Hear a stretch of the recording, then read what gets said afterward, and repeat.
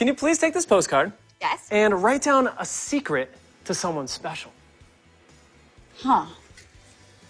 What's one thing you still have from your childhood? Uh, my curiosity. Who's your favorite Sesame Street character? Snuffleupagus.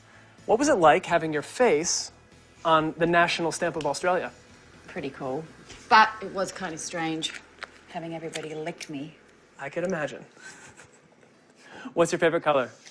Uh, bluest of blue. Least favorite color? Probably bright.